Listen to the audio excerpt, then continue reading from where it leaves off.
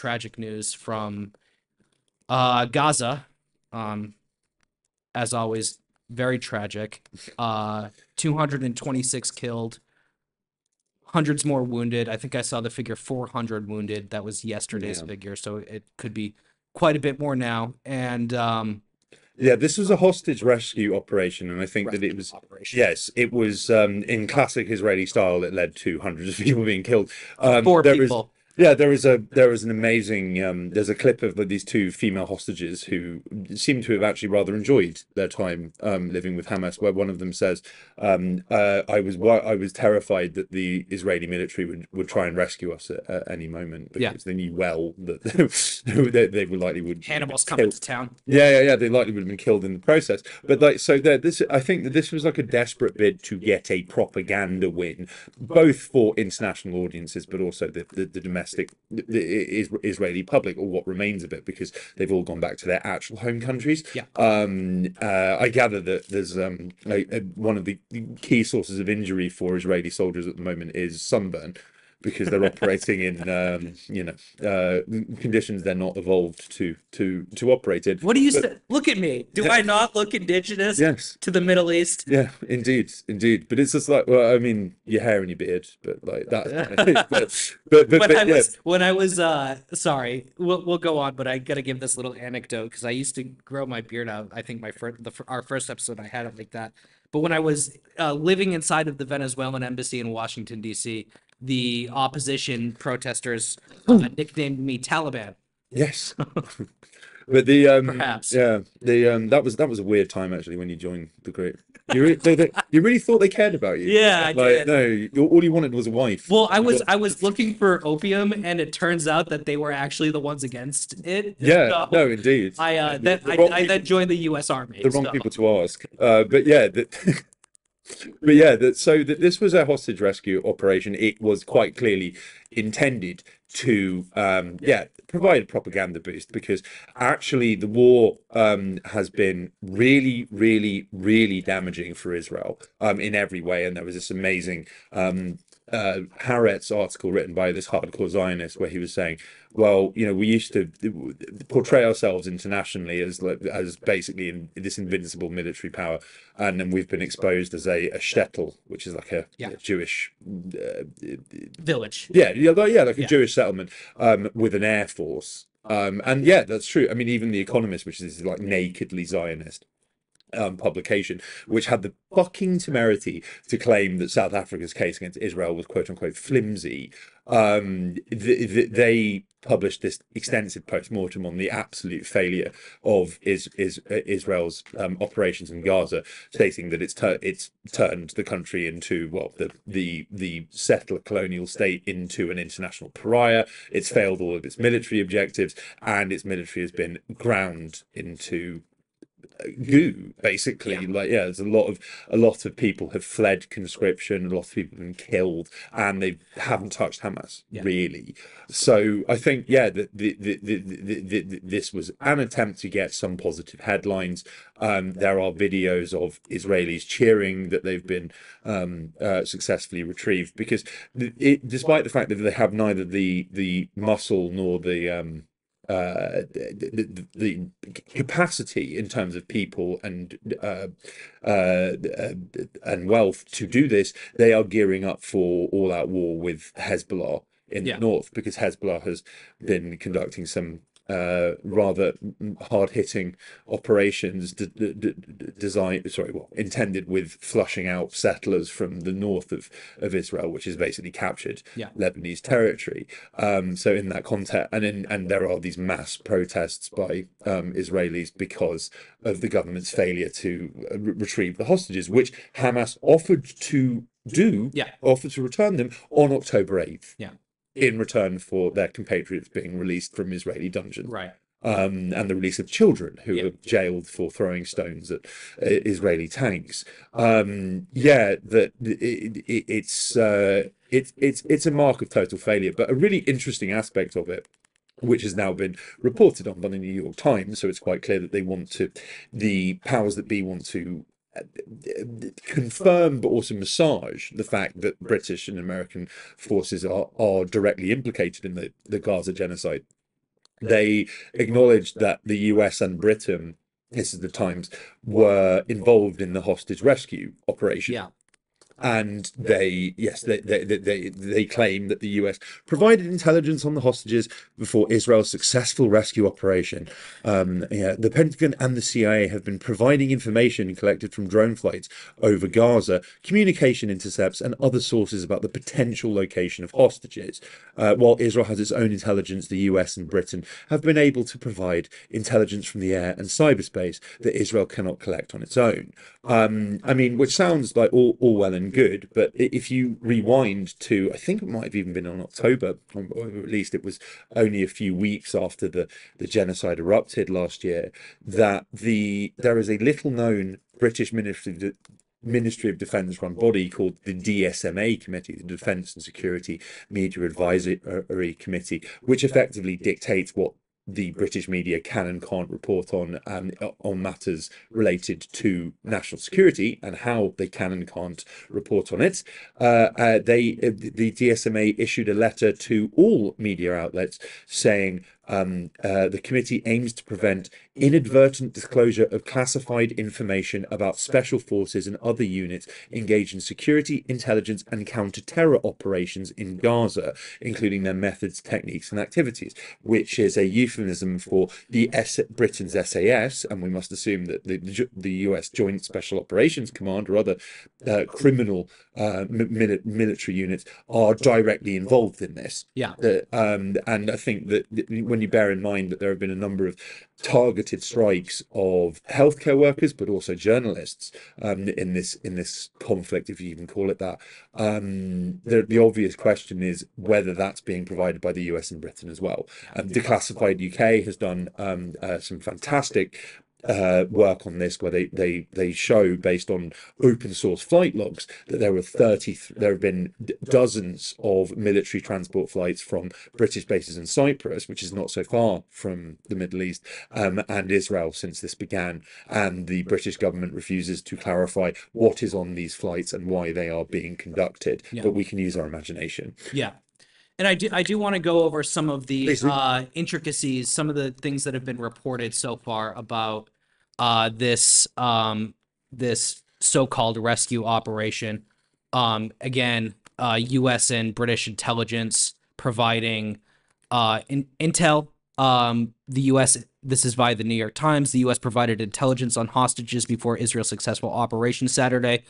According to American and Israeli officials briefed on the assistance, a team of American hostage recovery officials stationed in Israel assisted the Israeli military's effort to rescue four captives by providing intelligence and other logistical support. One American official official said, uh, speaking without attribution. That's the new term for uh, on the condition of anonym anonymity. Um, the Pentagon and the CIA have been providing information collected uh, from drone flights over Gaza, communication intercepts, and other sources about the potential location of hostages. While Israel has its own intelligence, the U.S. and Britain have been able to provide intelligence from air and cyberspace that Israel cannot collect on its own, Israeli officials said. Um, so, and we have via Axios. Um, I also want to bring up some of these clips here, um, some of these comments that this is Axios exclusive. Uh, they are tied to the White House very closely, um, and oftentimes are able to publish these kind of uh, exclusive reports based off of anonymous uh, officials. The United States. This is uh, Jake Sullivan, um, the what is he, National Security Dir- Direct uh, Coordinator at the White House. Um, the United, and this is his response to the rescue operation. Again, 226 killed, 400 wounded, four rescued. The United States is supporting all efforts to secure the release of hostages from Hamas, including American citizens. This includes through negotiations or other means. That's the end of the quote. Uh, we will not stop working until all hostages come home and the ceasefire is reached. It is essential that that happens. That's via Biden. Um, and then we have war crimes, um, because if this is not on its face, just the facts on paper, a war crime in itself, we have uh, documentation of this is via the cradle. Troops hide inside aid trucks for deadly U.S. Israel operation in Nusrat. forgive me if I'm mispronouncing that. Let me reload this page, but there's footage. Well, I'll pull up the tweet because the cradle is not loading. Just give me a minute, folks. Here we go. Excuse me. And you can see here there are armored Israeli tanks which are escorting a humanitarian truck.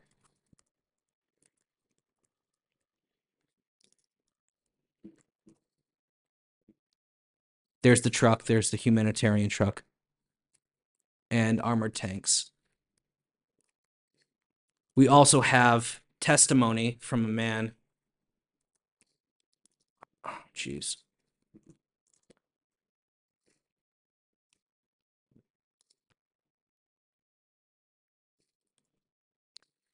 testimony from a man who was injured. Let me just start that clip over. I was Yeah. walking in the street, the truck stopped. It was carrying clothes and kitchenware. I thought it was humanitarian truck from Ra- Rafah. Suddenly, maybe 10 armored armed exited from the truck, special forces. They shot me in the chest and in the arm. He was one of the lucky ones. Yeah, he- Um, exactly. Yeah. And this is what a rescue operation looks like in Israel. I'm going to turn on the audio for this one.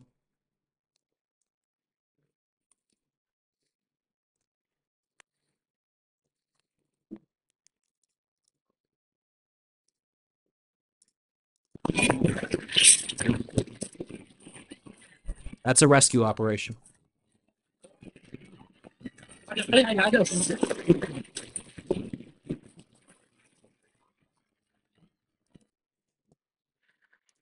Now, one other thing that I think needs to be mentioned here is the use of the uh, aid pier in this operation. CENTCOM has denied it, and we have via CENTCOM here.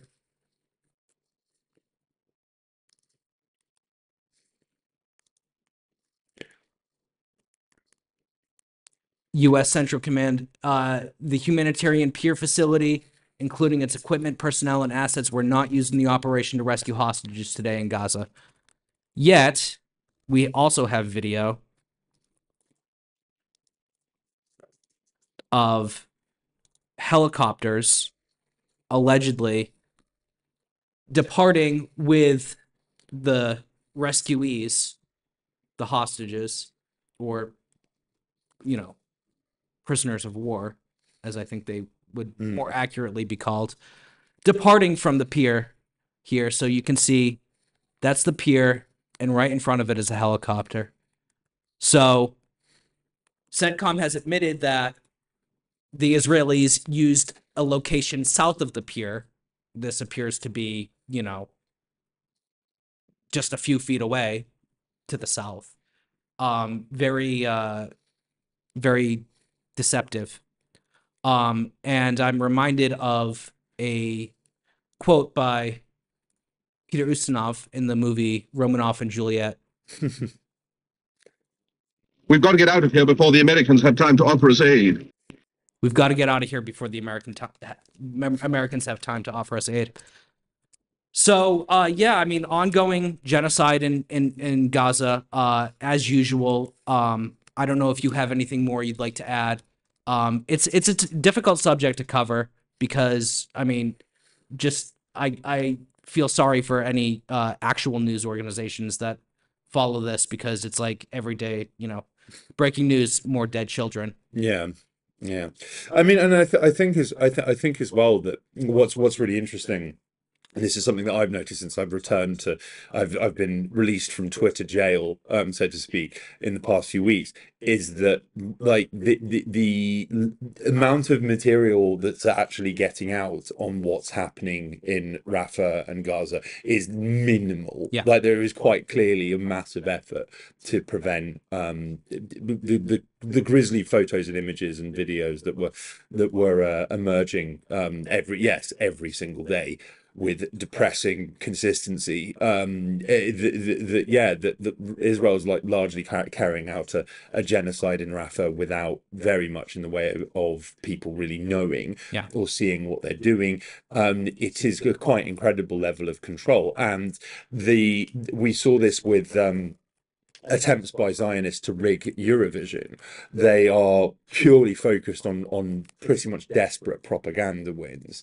Um, and I think it would be interesting to see what these hostages, if they're even allowed to speak publicly, have to say about their experiences and um, what they think of hundreds of people having been killed in order to in order to rescue them. Yeah. Um, uh, the, the, Israel, of course, has in the, has attempted to prevent um, hostages from speaking out about um, what happened while they were um, while they were captured, because often they have rather positive stories of there was like some young girl who said that she learned the importance of sharing and and, and, and ensuring that everyone was fed before she was. Yeah. Um, so yeah, that that they are they are flailing um pretty desperately at this at this at this stage um the, the, the pure suppression of, of of their actions is is is about the best that they can do something like this is the second best that they can do Yeah. so god god god help us all Hey everyone, um, if you enjoyed this video or, or any of our other content, uh, please give us a follow on Twitter or subscribe to us on YouTube.